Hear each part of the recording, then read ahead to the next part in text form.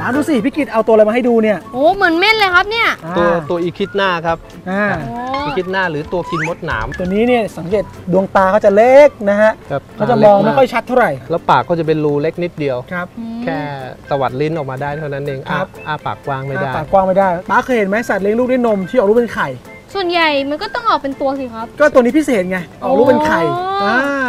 ในธรรมชาตินี่มันมีชีวิตอยู่ยังไงอะครับเอ่อ ตัวนี้จะขุดรูขุดโพรงอยู่ใต้ดินนะฮะอ๋อหาที่หลบซ่อนตลอดเวลาครับครับ ออกหากินเวลากลางคืนที่ครับ มืดสนิทแล้ว อืมนี่ไงพี่กิตก็เลยต้องสร้างครับเห็นไหมสร้างโพรงครับ สร้างอะไรให้อยู่ ไม่ได้สร้างเพื่อความสวยงามนะครับ แต่สร้างเพื่อให้มันเรียนแบบธรรมชาติ อ๋อเขาจะได้รู้สึกว่าปลอดภัยไม่มีความเครียด เวลาเลี้ยงสัตว์เนี่ยถ้าสัตว์มีความเครียดสัตว์จะป่วยง่าย เพราะฉะนั้นเนี่ยก่อนเลี้ยงต้องรู้ครับเลี้ยงแล้วก็ต้องดูแล